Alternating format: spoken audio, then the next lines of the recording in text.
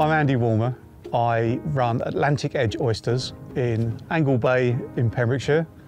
We grow top quality oysters and we've been operating for the last two years. We've got 150,000 oysters on the farm at the moment. That ranges from 70,000 small seed through to park grown oysters up to the full size market size oysters. Growing oysters relies on that pristine marine environment. The oysters we grow here are so clean you can eat them straight off the beach. And we've got our part to play in maintaining that environment. So everything we do, we think about how we're operating, what we're doing. We try and adopt the best practice to make sure we're as sustainable as possible.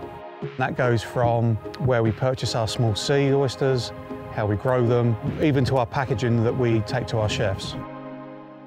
Our customers are now really valuing local food, asking where their food comes from and how sustainable it is. We've got a really good relationship with our chefs. They come down and visit the site, tell us what they want for different plates. We can tell them when we've got new products coming through. If you eat an oyster straight from the sea, straight away, big hit of salt. When we put them through the purification tank, we reduce the salinity. You can taste more of the oyster rather than the salt. And that came from feedback working with one of the chefs in the area. They help us, we help them. That relationship is, is vital. We work within a triple SI, so we need to be small scale. But by producing high quality, we can make a viable business. We're supplying country pubs, seafood bars, even top restaurants and hotels.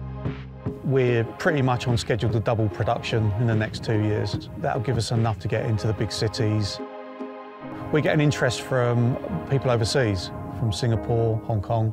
I just like the idea of having our oysters being enjoyed in in the other side of the world, you know.